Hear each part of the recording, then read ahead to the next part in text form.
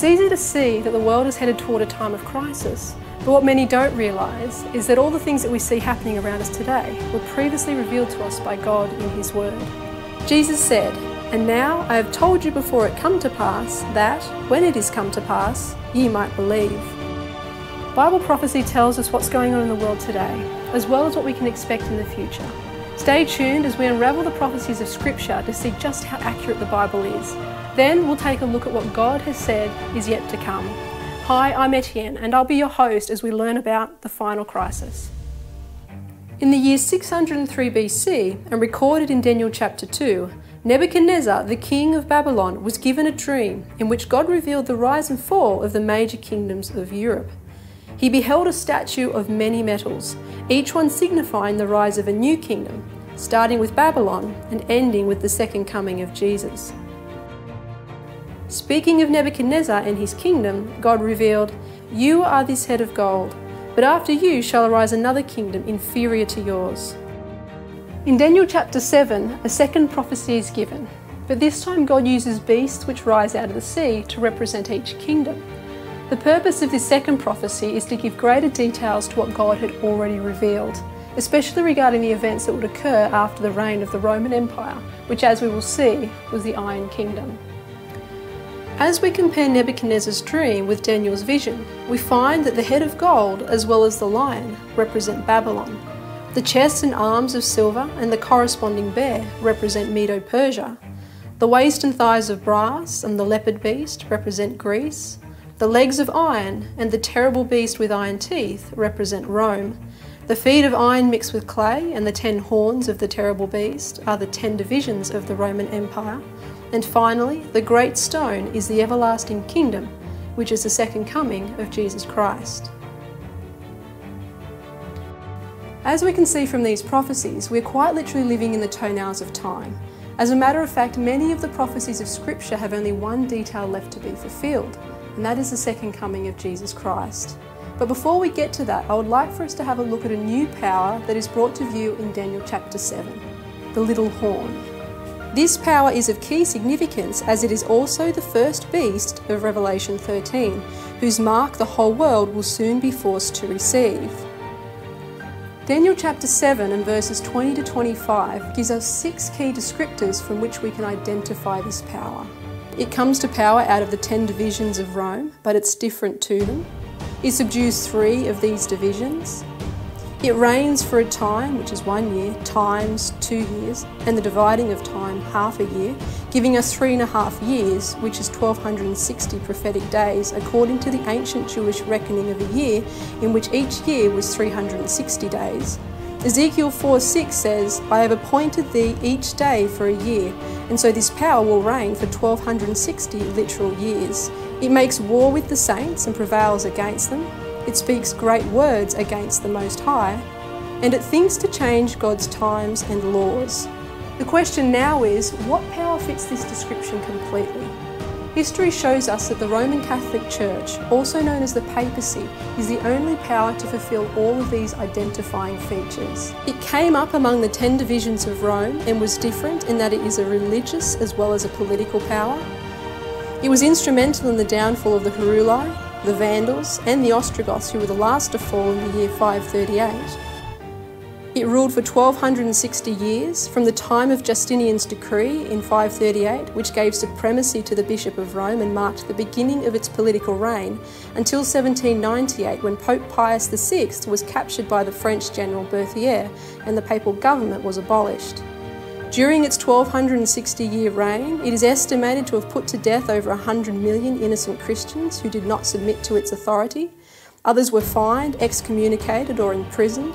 Most of the Protestant reformers lost their lives in their attempts to reform the church and give the Bible to the people in their common language. In claiming the power to forgive sins, handing out indulgences, and taking the titles Lord God the Pope and Holy Father, the Pope endeavours to take the place of God and by doing so is speaking words against the Most High. Finally, and most significantly, the Church thought to change God's times and laws.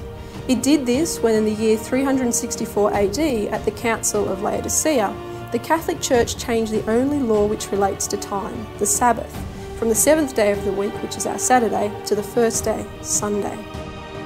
In asking which day is the Sabbath, the Catholic Church accurately states Saturday is the Sabbath. So then why do we observe Sunday instead of Saturday? The Church states because the Catholic Church in the Council of Laodicea transferred the solemnity from Saturday to Sunday. And this is why today most Christians worship on Sunday instead of the biblical Sabbath. However, we do not find instruction for this anywhere in the Bible. At this point, I would also like to make mention that although the scriptures identify the Catholic Church as the Antichrist, God has many faithful believers within this institution that He acknowledges as His own. However, we are now living in a time in which God is calling His faithful people, whom He loves dearly, out of these fallen churches. You can read more about this in Revelation 18, verses 1 through 4. Now we come to Revelation chapter 13, which introduces us to prophecies which relate directly to us today. The first beast in this chapter carries the same identifying features as the little horn, and so we can accurately identify it as the Catholic Church. In verse 5, it says that this beast continues for 42 months. This is the same as the three and a half years, or 1260 days, of the little horn of Daniel 7. If we now fast forward to verse 16, we realise that it is the mark of this religious system that will be placed upon those who worship it or its image. When speaking of the mark of the beast, many think of the number 666. However, very few have the correct understanding of what this number actually represents. Revelation 13 and verse 18 says that it is the number of the beast as well as the number of a man. The Douay Bible states that this passage could be understood to mean the numeral letters of his name shall make up his number. If we take one of the Pope's titles, Vicarius Filii Dei, meaning Vicar of the Son of God, and calculate the sum of the numbers, we can find the number 666. Each letter has a Roman numeral value. Those letters which do not exist in Roman numerals get the value of zero. This may seem an odd thing to do, but the practice of representing names as numbers was commonly done in ancient times. Returning to the first beast of Revelation 13, we are told that its deadly wound would be healed. Are we seeing this today? Is the Catholic Church regaining the power that it lost? We've seen how the Catholic Church lost its power during the French Revolution in 1798, and I believe that today we are very much seeing the healing of this wound. In 2015, Pope Francis released his encyclical on climate change, Laudato Si, where he outlined the necessary changes we would have to make to save the planet from an impending catastrophe. Since then, his encyclical has been presented to the UN, the US Congress, President Trump and the Paris Summit, all over the world, he is receiving praise as a moral authority on this issue. Thea Ormerod in ABC Religion and Ethics from May 2020 commented, the timing of the commemorative global Laudato Si week couldn't be more fitting for those of us promoting an economic recovery from COVID-19 that tackles unemployment, rebuilds a resilient economy and addresses climate change all at the same time. The reminder of this historic encyclical adds Francis's moral authority to the case made by concerned Australian economists regarding how this practically can be done. Further to this, in highlights from Joe Biden's vision for America, we can find this statement. In his encyclical Laudato Si, Pope Francis directed the global community to raise awareness about the growing climate change crisis Climate change threatens communities across the country, from beachfront coastal towns to rural farms in the heartland. Joe's plan would tackle climate change and pollution to protect our communities. In addition to his leadership in climate change, the Pope has also been calling all nations and religions to unity in our efforts against COVID-19. For this, he set aside May 14, 2020 as an International Day of Prayer for all faiths and religions. The great basis for the Pope's call to unity has been for the sake of the common good. This was reflected to a great degree in his most recent encyclical Fratelli Tutti, which was released on October 4, 2020. In this encyclical, he essentially outlines the tenets of Catholic social doctrine, the core of which is the idea that any individual right which goes against what is deemed to be for the common good should be restricted. This is a global socialist agenda, not unlike the Great Reset that has been promoted by the World Economic Forum and is being developed and implemented even now for the sake of the common good of our planet. Like Laudato Si, Fratelli Tutti has received just as much praise from world leaders. If we expect to see the whole world wander after the beast, then we expect not only to see a certain level of cooperation between nations, but also between faiths and religions. Over the past few decades, most of the major Protestant churches have signed unity agreements with the papacy. In a 2017 article in The Guardian, we read that Catholic and Protestant leaders have stressed their mutual bonds 500 years after the start of the Reformation with the Pope declaring that Catholics and Protestants were now enjoying a relationship of true fraternity based on mutual understanding, trust, and cooperation. On October 31, 2016, the Lutheran Church signed a joint declaration with the Catholic Church, putting an end to the Reformation that was started by Martin Luther 500 years earlier. In February 2019, Pope Francis met with the Grand Imam of Al Azhar, the leader of Sunni Islam, to sign a declaration of fraternity calling for peace and cooperation between faiths and nations. On the surface, the Pope's ideals appear very wholesome.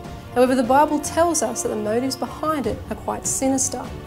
These global movements are leading us toward a socialist agenda headed by a dictatorship that will tell us how we should act what we should say, and how we should worship. All of these movements are a direct fulfillment of Revelation 13. The influence of the Catholic Church has been rapidly growing as its wound is healing, and we can expect its power to continue to grow until the whole world is wandering after the beast. The mark of the beast has become a topic of great interest recently, especially with the pandemic and anticipation of a coming vaccine. However, the mark is not a vaccine, neither is it a microchip or barcode. It's not a physical mark, but rather an invisible representation of who we worship. Having already identified the Catholic Church as the beast, it's much easier to figure out what its mark is, as the Catholic Church openly states it. Regarding the change of the Sabbath from the seventh day to the first, H.F. Thomas, the Chancellor of Cardinal Gibbons, wrote, of course, the Catholic Church claims that the change was her act. It could not have been otherwise, as none in those days would have dreamed of doing anything in matters spiritual, ecclesiastical, and religious without her. This act is a mark of her ecclesiastical power and authority in religious matters. Sunday observance, when it's enforced by law, is the mark of the beast. When such legislation is passed, those who refuse to obey will lose their ability to buy and sell and will ultimately face the threat of death. However, those who do obey will receive the mark of the beast. We worship whoever we serve, and we serve whoever we obey. If we obey the Catholic Church by keeping holy her day in place of God's Sabbath, then we are worshipping and serving the beast. However, if we keep the Sabbath day holy according to the commandment, then we are worshipping God and serving Him. Right now, Sunday rest laws as a means of reducing greenhouse emissions are being urged by many as a necessary step in combating climate change.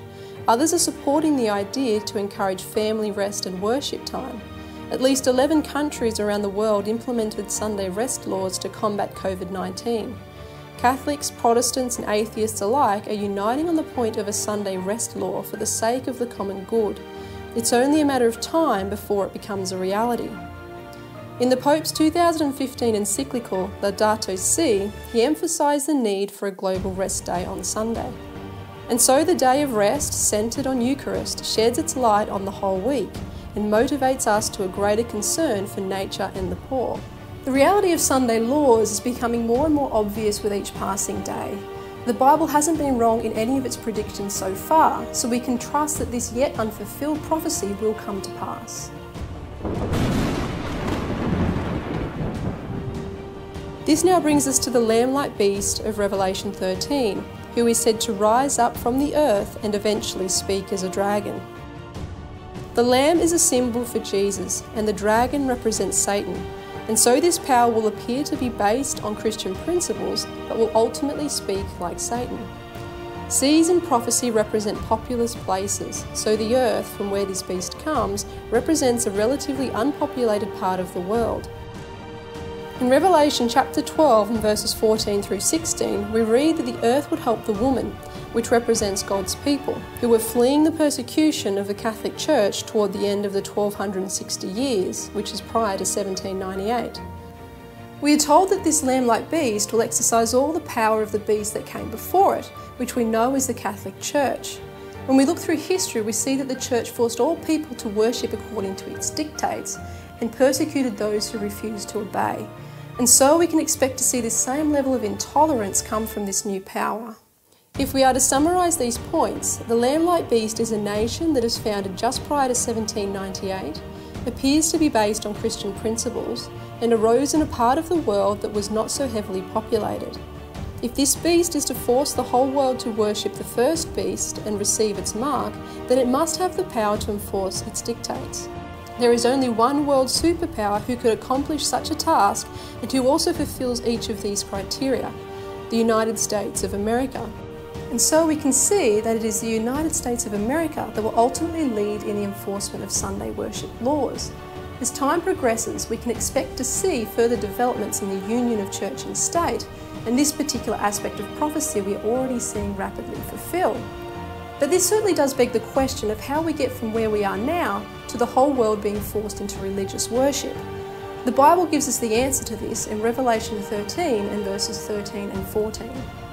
Here we are told that we will see great wonders and miracles, even fire coming down from heaven.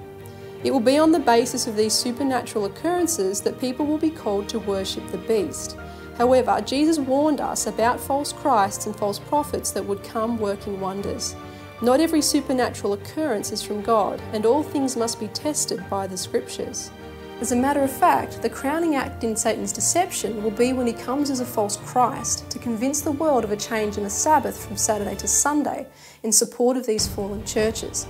However, despite his efforts, Satan won't be allowed to mimic Jesus coming fully, and it's for this reason that it's important that we understand what the second coming will look like.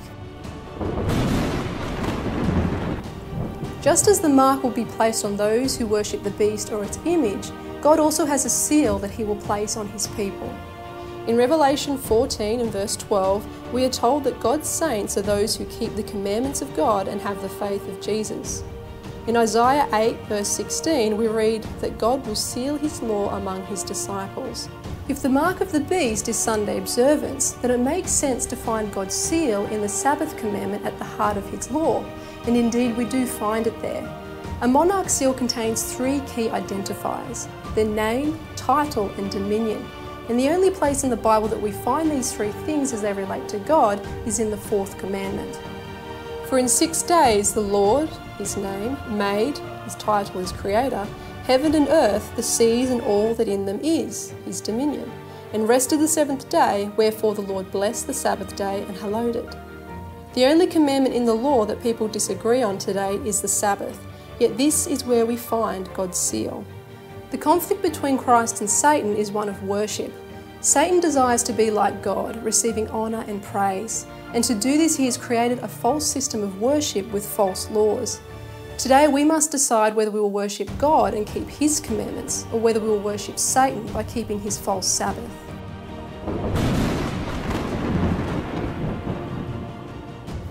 Now we come to the final scene of prophecy, the second coming of Jesus Christ. Jesus' first coming was as a servant to reveal to us the love of God and reconcile us to heaven by taking the punishment for our sin. When he comes again, it is as King of kings and Lord of lords to put an end to sin, suffering, and death for those who follow and trust him. Christ returns at earth's darkest hour to save his people, and the Bible tells us exactly what his coming will be like. It will be as lightning that flashes from east to west. Every eye will see him. All the angels will be with him. The whole world will shake at his presence. It will be with great noise. The dead saints will rise from their graves. The living saints will be changed from mortal bodies to that of immortal health and youth. Together the saints will rise above the earth to meet the Lord in the air, while the wicked will be destroyed by the brightness of his coming. Nothing about the second coming is a secret. All will see and hear it. While the righteous will be taken to heaven, the wicked will die to await their judgment at the end of the millennium. No eternal torture awaits those who have rejected God's grace. Eternal death will be their final reward. Romans 6:23 says that the wages of sin is death, not eternal life in hell. It's Satan's desire to misrepresent the character of God, to blame him for all the evils in the world, and to represent him as harsh and unloving in order to turn people away from him and justify his own rebellion in the sight of the universe. There is no reason for God to torment people in hell for an eternity.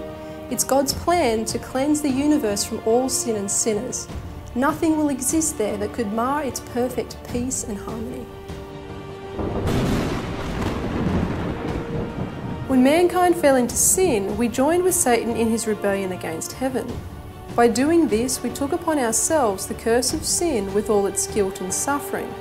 Sin is a law of selfishness. It began with Satan's desire to be worshipped and has been the condition of humanity since it entered the world. As with any kingdom, heaven has a law.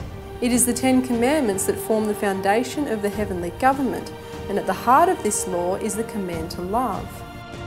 As we are now sick with sin, we cannot enter heaven.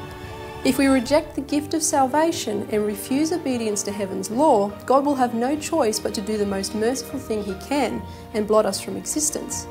However, God doesn't want a single soul to perish. Instead, He put into action a plan of redemption to save us from evil, to restore us to His own perfect image so that we can again be received into heaven. However, this plan cost God the most precious thing to Him for God so loved the world that he gave his only begotten Son, that whosoever believeth in him should not perish but have everlasting life. To meet the claims of a broken law, God sent his own Son to die in our place. Christ alone could lay down his life for us, and he did this willingly. The King of the universe gave up the glories of heaven to come to this world as a servant to save you and me from a punishment which we justly deserve. But Jesus came not only to save us from death, but to free us from our slavery to sin and addiction. He came to give us a life of freedom. I hope that as we see prophecy rapidly fulfilling, we will see our need for Jesus and use the time that we still have to develop a relationship with Him. May we all look forward with joy to the very soon coming of our Lord and Saviour, Jesus Christ.